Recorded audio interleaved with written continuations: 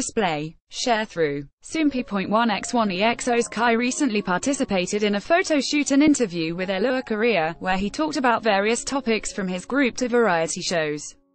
See also, Keep Cool in Style, 10 trends you can adapt from your favorite summer K-pop MVs following the photo shoot in Tokyo, Japan, which was his first magazine shoot abroad. He commented, It was fun as it felt like I was on a trip.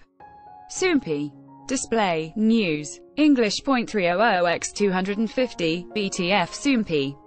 Mobile. English .300x250, ATF In the interview, Kai candidly talked about approaching seven years with EXO.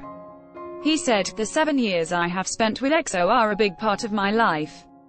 I think it is just a short amount of time. However, I just want to promote happily without dwelling on time. On his latest drama, The Miracle We Met, he mentioned, I acted while thinking of myself as a Manito, which is a figure that secretly does good deeds for a specific other person.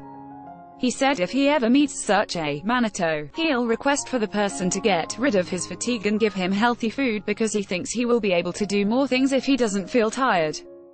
Kai also shared, a variety program I would like to appear on is a show like Yun's Kitchen. Kai's full interview can be found in the August issue of Allure Korea.